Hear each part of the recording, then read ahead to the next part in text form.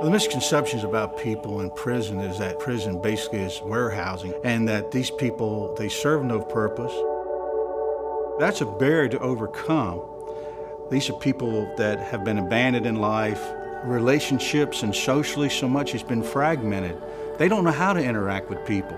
And trust is a thing that they don't know a lot of that.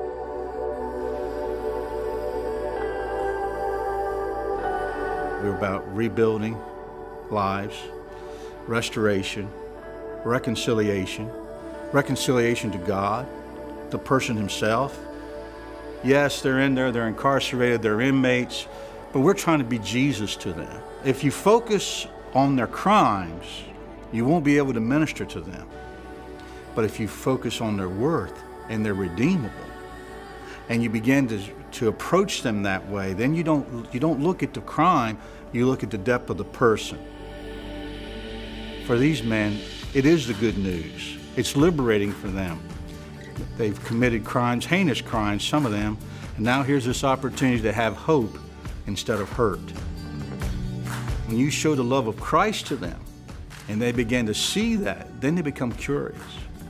And that's where we begin to see the breakthroughs.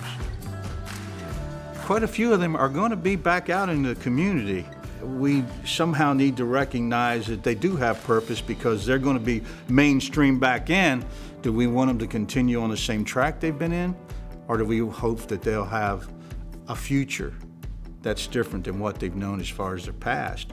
And then part of us as Jubilee is our aftercare programs and things of that. And we can say this is what's available through our own ministries outside the prison walls.